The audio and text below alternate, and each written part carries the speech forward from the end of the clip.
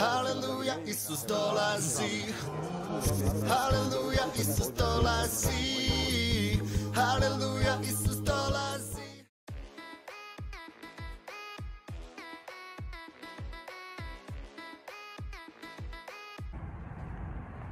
Dobro jutro, gospod sa svima nama je i danas. Mir Božji vam želim u ime našeg spasitelja i gospoda Isusa Hrista. Ja sam u mojoj običajnoj jutarnjoj šetnji i upravo dok sam se molio gospodu, zahvaljivao za njega, zahvaljivao za njegovu žrtvu i pobjedu nad smrti, blagosiljamo ime našeg spasitelja, jer je on dostojan svega, svih blagoslova, svake, sve slave, hvale i časti, sve pripada njemu. Jer mi ne bismo ni postojali da nas on nije stvorio, da nije želeo da ima ljude i tako dalje.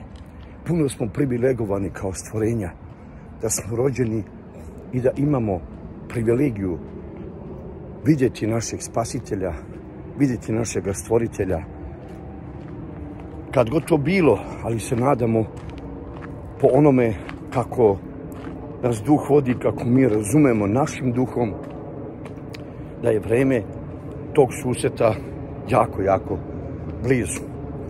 Ono što je interesantno za nas ljude jeste, dragi moji, naš lični odnos sa Bogom.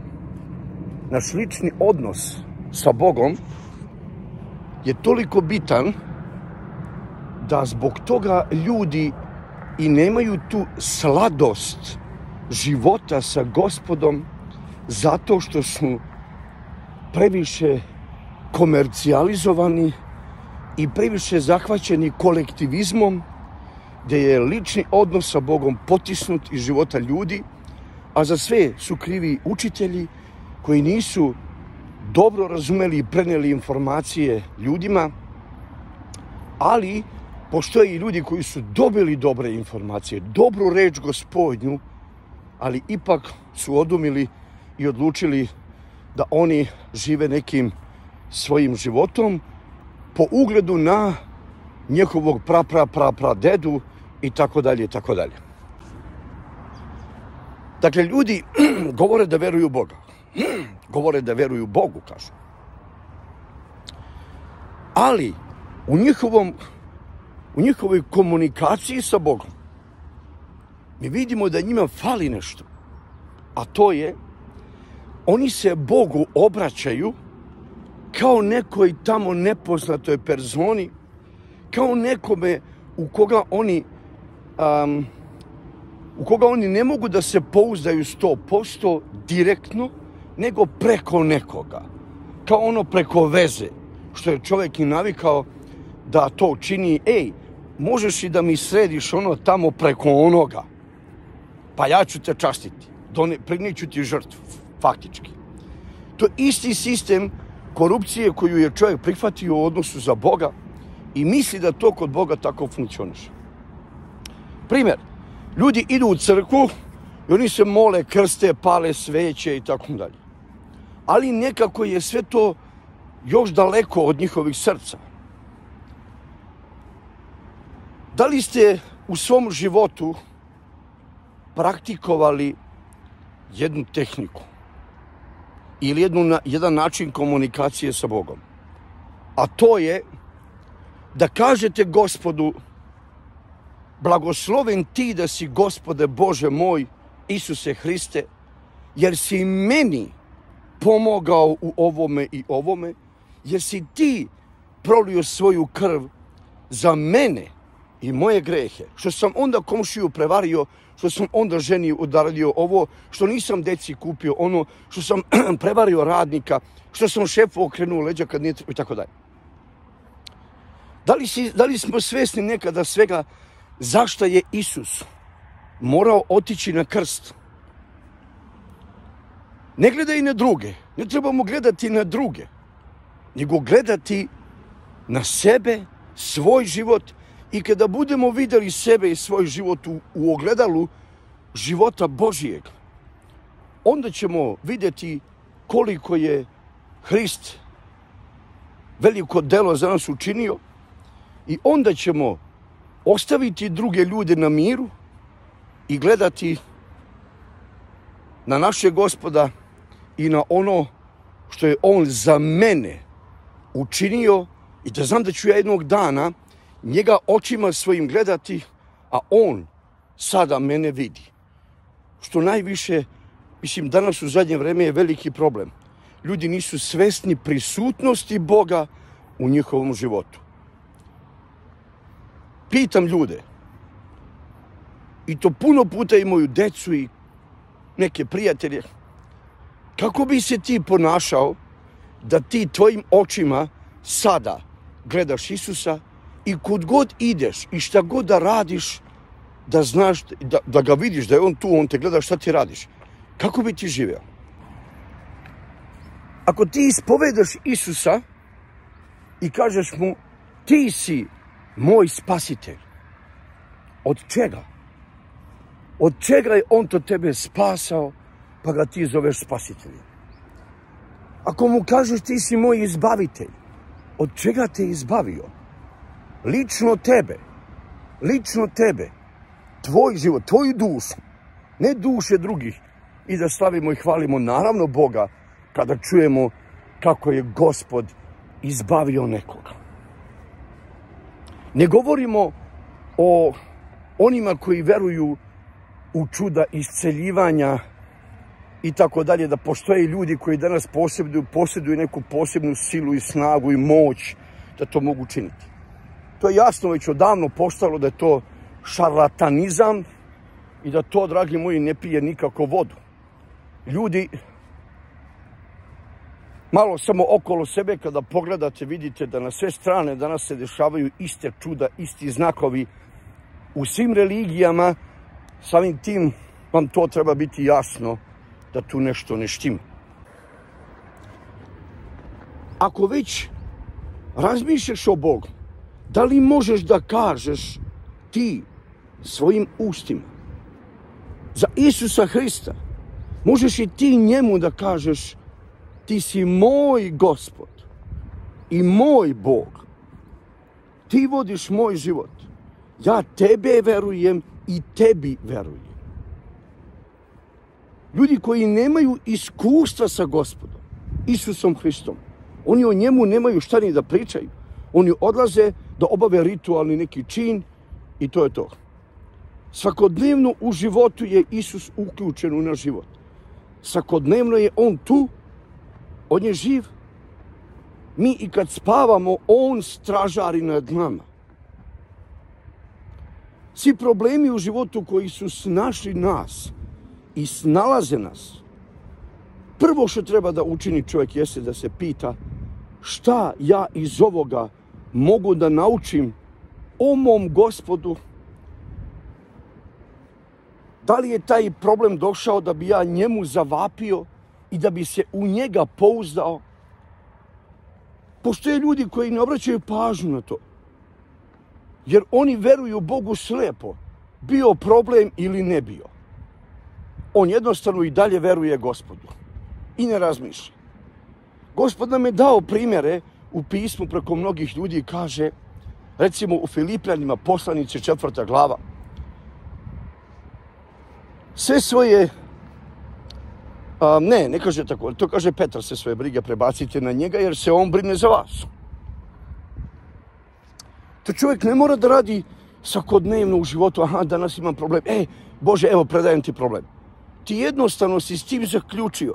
Jednostavno znaš da je gospod tu, da on sve pod kontrolom ima, da se ništa bez njega desiti ne može. Tvoje je da razmišljaš i da radiš i da živiš onako kako ti život i nalaže, kako jesi, ako si seljak, budi seljak, ako si radnik u fabrici, budi radnik. I u svemu gledaš da proslaviš gospoda. Razmišljaš u njemu. Na umu, ti na umu imaš gospoda tvoga non stop i on upravlja korake tvoje. Znači čovjek ne mora svakodnevno da nužno dolazi da predaje neke probleme. Neki to moraju jer su takvi, jer su ljudi koji su navikli da žive takvim životom. Ali U Filipanima recimo kaže ne brinite se ni za što, u četvrtoj glavi. Ne brinite se ni za što.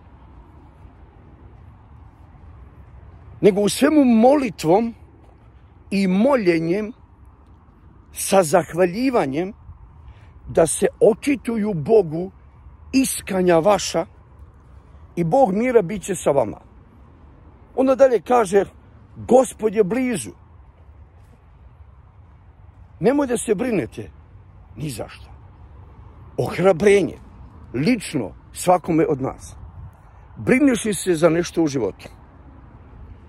Šta te to brine? Šta te to pritiska? Ono što se desiti mora, desit će se. David je plakao za svojim sinom, koji ga je proganjao. Apšalom, Davidov sin je naterao oca da siđe sa prestola, da napusti svoju rezidenciju, da pozove svoje dvorane i da se daju u beganje. Otac je begao od svoga sina, ne zato što ga se bojao, nego zato što nije hteo sa njim ući u konflikt i nije hteo da njegov sin strada. Ali budući da je David bio Božji pomazanik, a gospod kaže da to nikome neće dopustiti da njegove pomazanike oni diraju, ma ko to bio. David se molio, želeo je sigurno u srcu svome da Abšalom odustane od toga i da ne sluša lažne savjetnike koji su ga nahuškali da, ustanu protiv, da ustane protiv svoga oca i da mu otme carstvo. Ali gospod je pustio da ga, da tog Abšaloma ljudi ustrele strelama da ga ubiju. David je plakao za svojim sinom. Dan i noć. Vikao je po dvoru, sine moj Abšalom. Bolje da sam ja umro umjesto tebe. Čovjek koji je bio po Božjem srcu, koji nije krio svoje emocije i osjećaje. Čovjek koji je ostao upamćen, kome je Bog obećao da iz njegovog doma će izaći čovjek, i to je bio Hrist, kojemu carstva nikada kraja biti neće, njegovom carstvu. Iz doma Davidovog. Mi smo ljudi koji imamo probleme. Bio ti veran ili neveran. Bitno je samo šta ti učiš iz tih problema, kako gledaš na Boga, da li se ljutiš na njega ili gledaš da iz tog problema ti prizoveš ime gospodnje, prizoveš spasitelja u svoj život, da te pokrene da misliš o njemu kako bi sebe spasao ili bio primjer drugima kako si se ti pouzdao u Boga i Bog te izbavlja. Bog mnoge ljude izbavlja zbog svjedočanstva i svoga imena, da bi ljudi njega zazvali, da bi ljudi njega potražili i bili spaseni. Zato crkva Hristova trpi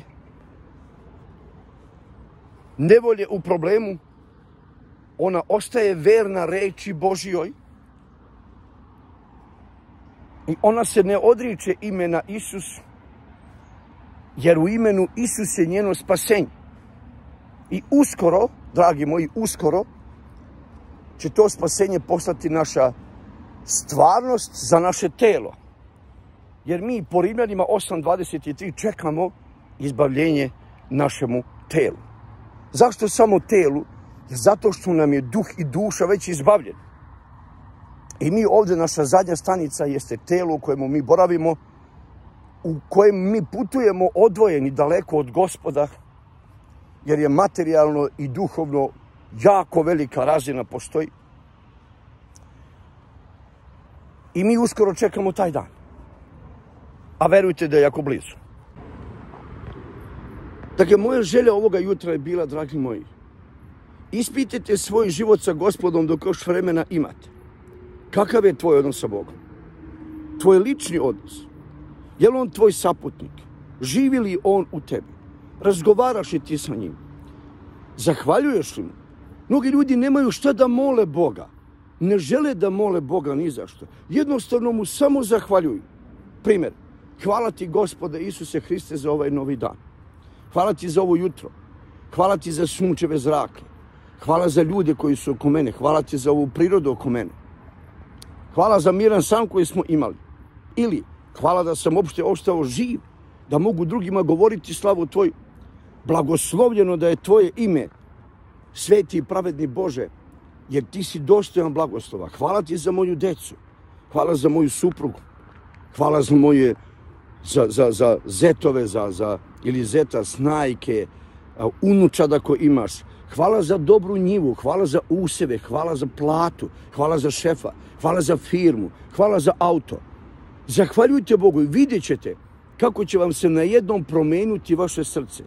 Kroz zahvaljivanje vi dobijate radost i blagoslov od gospoda, uživate jer ste u svemu onda zadovoljni. I tako se vežbate da budete zadovoljni u svemu.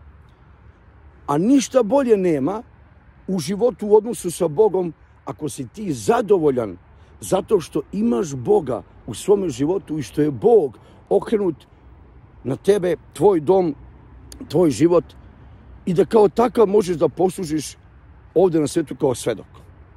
Da ti zahvaljuješ tome Bogu, da mu daješ slavu, hvalu i čast. Ništa ti ne treba kada imaš njega. Sve mu predaješ u ruke na jednom. Kad, kad poveriš, ti si predao Bogu sve u ruke.